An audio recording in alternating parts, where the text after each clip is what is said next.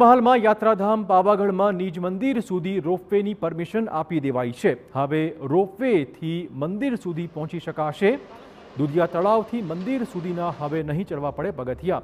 કેન્દ્રની national monument ઓથોરિટીએ ropeway મંદિર સુધી લંબાવવાની પરમિશન આપી છે. બે માસમાં આ રોપવેની કામગીરી શરૂ કરાશે. રોપવેની આ આધુનિક કેબિનમાં આઠ લોકો બેસી શકશે.